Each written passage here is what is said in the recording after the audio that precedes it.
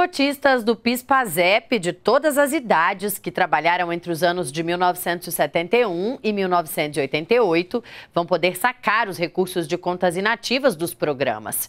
A medida está prevista em um decreto assinado pelo presidente Michel Temer. Na cerimônia em que assinou a ampliação da faixa etária de saque, o presidente lembrou que os herdeiros dos beneficiários que já tiverem falecido poderão receber os valores acumulados. Ele também destacou que a medida irá beneficiar novamente a economia brasileira com a injeção de recursos, como aconteceu anteriormente na liberação das contas inativas do FGTS e também de outras faixas etárias do PIS/PASEP. Veja como foi. Gostaria inicialmente, senhor presidente, de reafirmar a importância das medidas que o seu governo tem tomado no sentido de oferecer às famílias brasileiras condições mais favoráveis para atravessar esta grave crise econômica que o país tem enfrentado nos últimos anos. A exemplo da liberação dos saques das contas inativas do FGTS, o ato de hoje, que amplia substancialmente as possibilidades para saque das contas do fundo PIS/PASEP deve representar um importante aporte de recursos na economia, na capacidade de consumo das famílias e oportunizar também condições para redução do endividamento e regularização da situação das famílias junto aos créditos é, adquiridos em relação às suas, aos seus compromissos com as instituições financeiras. Como muitos dos senhores sabem, as contas do PIS/PASEP representam um aporte de recursos realizados pelos empregadores e pelo governo entre os anos de 1971 e 1988. Até o ano passado, as condições de saque eram bastante restritivas. Apenas as pessoas com mais de 70 anos, aqueles que já tinham se aposentado, as pessoas que enfrentavam uma enfermidade grave ou em pessoas de suas famílias, também aqueles que já tinham falecido, situação em que os saques eram realizados pelos seus herdeiros. Desde a edição da medida provisória 797, já no segundo semestre do ano passado, nós temos aí um novo cenário em que essas condições são flexibilizadas, amplia-se a faixa etária daqueles que fazem jus aos saques, num primeiro momento reduzindo para 65 anos para homens, 62 para mulheres, depois para 60 anos para todas as pessoas, independentemente do gênero, e agora com a sanção do PLV 8 de 2018 e com o decreto que Vossa Excelência assinará em instantes, a possibilidade de que todas as pessoas que tenham saldo nessas contas, independentemente da idade, possam também acessar esses recursos, que são recursos dos trabalhadores. São recursos que estão há 30 anos sendo corrigidos, sendo aplicados, mas que agora poderão ser utilizados naquela prioridade que o próprio titular da conta é, entender que seja a mais adequada. Vamos adiante, por favor. Só para é, uniformizar a informação, deixar bastante claro, as contas do PIS estão sob a gestão da Caixa Econômica Federal e se referem aos trabalhadores da iniciativa privada que estiveram com vínculo formal de trabalho neste período que eu mencionei, entre 1971 e 1988. Ali estão 84% dos cotistas e 81% do valor total depositado. No Banco do Brasil, as contas dos trabalhadores do serviço público, também relativas a esse período, representando 16% dos cotistas, 19% do valor total depositado. Adiante. Com essas ações de flexibilização que eu descrevi agora há pouco, nós já tivemos, do segundo semestre do ano passado até 31 de maio, 5 bilhões de reais injetados na economia, beneficiando 3,6 milhões de trabalhadores. E com a nova regra, e a possibilidade de que o saque seja estendido a pessoas de todas as idades, dentro de um calendário que será divulgado logo mais, nós poderemos chegar a uma liberação total de 34 bilhões e 300 milhões de reais e atingir um universo de 25 milhões de trabalhadores brasileiros. Adiante, por favor. um breve detalhamento deste universo, deste contingente, e aqui eu chamo a atenção. O público que terá uma janela de oportunidade é aquele constituído pelas pessoas com menos de 60 anos. Esta janela vigorará até o dia 28 de setembro, e este público representa 16 milhões de pessoas, onde nós temos em valores totais 16 bilhões de reais. É possível, portanto, fazer uma conta bastante simples e estimarmos aí uma média de mil reais em cada conta, embora tenhamos notícias de que algumas contas têm valores bem superiores a esse. Já o público que tem mais de 60 anos tem agora um direito de caráter permanente. Ele poderá, não apenas até o dia 28 de setembro, mas a qualquer momento, também solicitar o seu saque e este público é formado por quase 9 milhões de brasileiros e o saldo em conta deste contingente um pouco mais de 18 bilhões de reais. Se todo esse universo de pessoas que têm direito ao saque realmente efetivar a retirada dos valores, nós teremos, senhor presidente, uma injeção de um valor equivalente a 39 bilhões de reais, e aí eu somo 5 bilhões que já foram liberados, o que representaria hoje um acréscimo adicional de 0,55% no PIB. Adiante, por favor.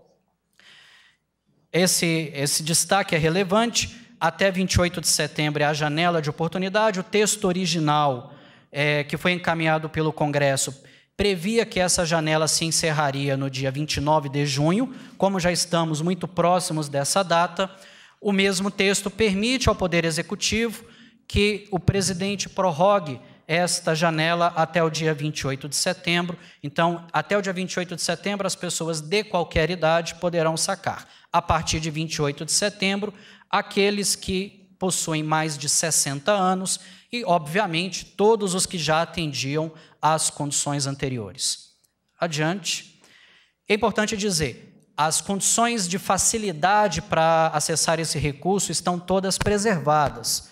Para quem é correntista do Banco do Brasil ou da Caixa Econômica, o crédito será feito pelo próprio banco, sem a necessidade de que a pessoa se desloque até a agência. Aqueles que possuem contas em outros bancos terão a isenção dos custos de transferência. A pessoa, para saber se tem direito ou não ao saque, também não precisará ir até a agência. Pode fazer essa consulta pelos canais eletrônicos que estão sendo disponibilizados tanto pelo Banco do Brasil quanto pela Caixa Econômica. E nós iremos trabalhar, a exemplo do que já foi feito com a FGTS, em um cronograma que sempre privilegiará as pessoas com mais idade, aquelas que receberão primeiramente. Próximo. E para encerrar, queria dizer, senhor presidente, que juntamente com a liberação dos recursos das contas inativas do FGTS, nós estamos falando de uma importante cifra de mais de 83 bilhões de reais em valores disponibilizados à população, com efeitos já perceptíveis, inclusive registrados no estudo recente do Banco Central, que mostra que este recurso foi direcionado, em parte, para a aquisição de bens duráveis e não duráveis, para a redução do endividamento das famílias, para que o crédito também fosse estimulado e tudo isso tem sido reproduzido, inclusive nos indicadores do primeiro trimestre desse ano, em que nós observamos que todas essas variáveis apresentam um crescimento em relação aos números, aos valores registrados no mesmo período do ano passado. Eram essas, portanto, as informações que eu gostaria de trazer aqui e agradecer a todos pela atenção. Muito obrigado, muito bom dia.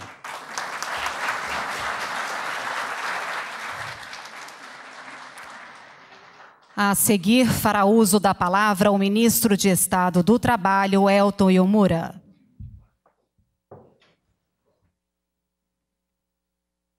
Opa.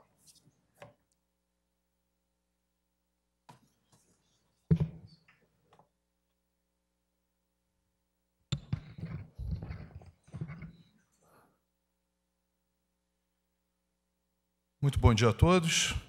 Excelentíssimo senhor presidente da República, doutor Michel Temer,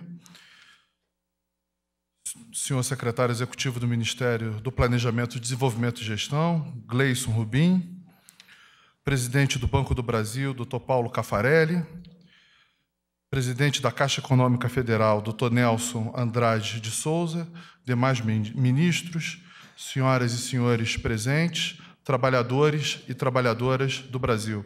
Renovo minha saudação, meu bom dia. É desafiadora a missão de participar de uma gestão governamental comprometida em realizar mudanças profundas.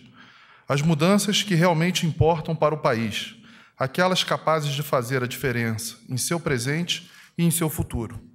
Desafiadora e, ao mesmo tempo, realizadora, quando vemos essas mudanças se projetarem do campo das intenções e das ideias para o da prática. A modernização da legislação trabalhista é um dos maiores exemplos disso. Um instrumento poderoso para que o governo brasileiro leve adiante e, cada vez com melhores resultados, sua luta ininterrupta contra aquele que é uma, hoje o pior inimigo do país, o desemprego.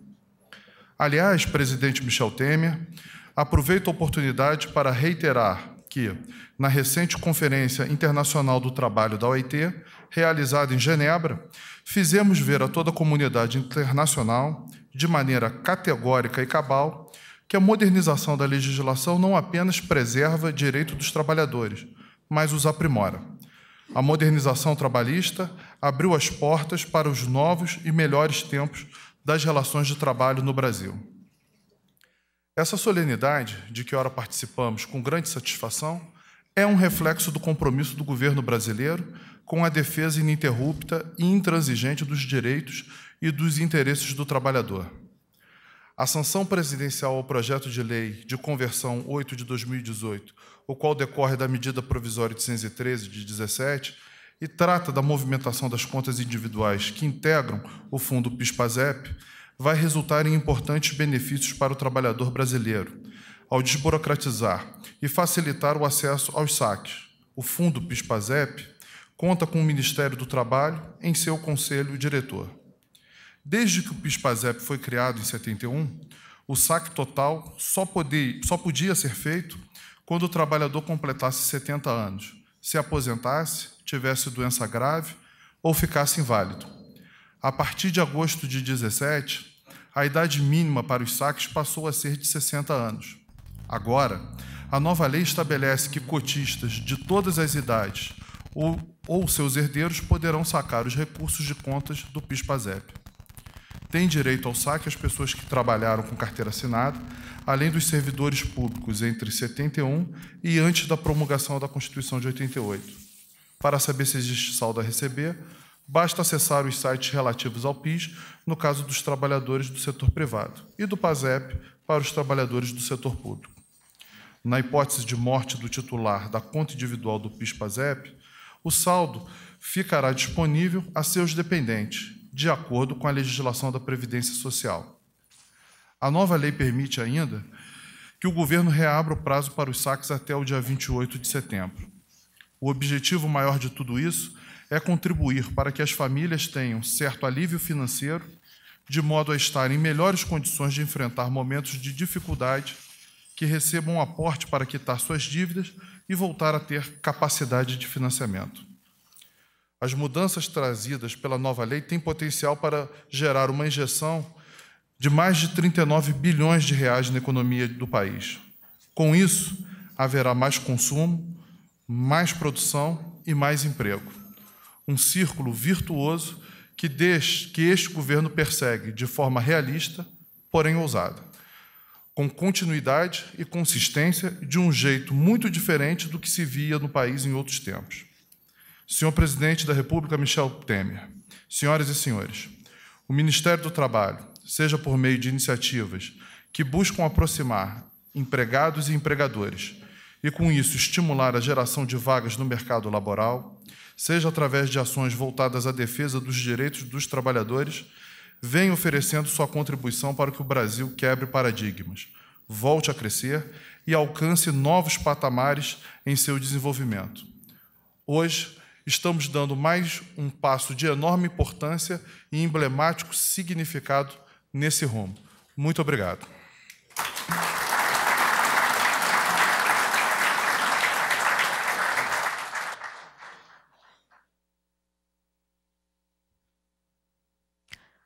Neste momento, o presidente da República sanciona a lei que amplia as possibilidades de saque da conta do Programa de Integração Social PIS e do Programa de Formação do Patrimônio do Servidor Público PASEP.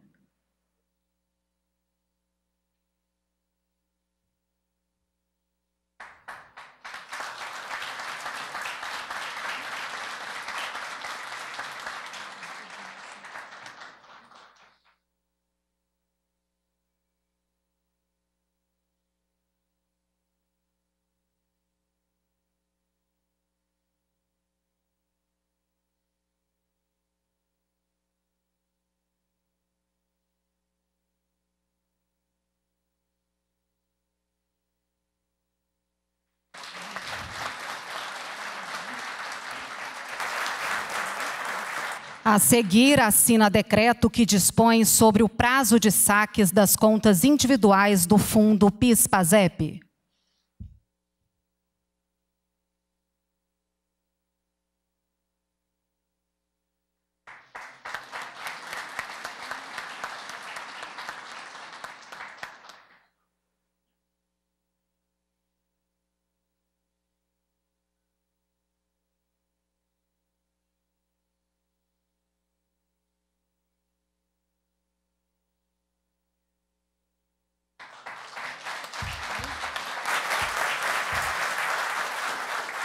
Senhoras e senhores, com a palavra o presidente da República, Michel Temer.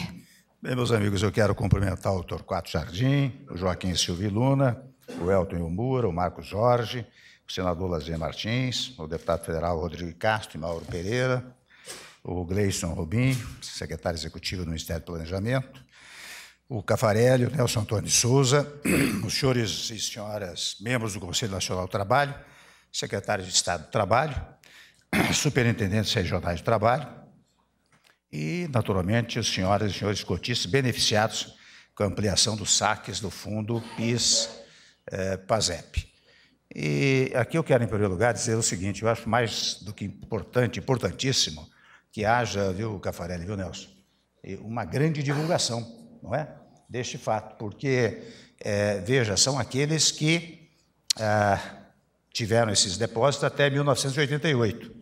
Eu creio que alguns até já devem ter falecido, mas evidentemente que o seu espólio pode vir para pleitear também esta, estas importâncias. Então é preciso divulgar demais, porque é interessante, mesmo no caso do Fundo de Garantia, eu me recordo bem, eu até naquela oportunidade gravei vários vídeos para botar nas redes sociais. Hoje as redes sociais têm uma repercussão extraordinária, né?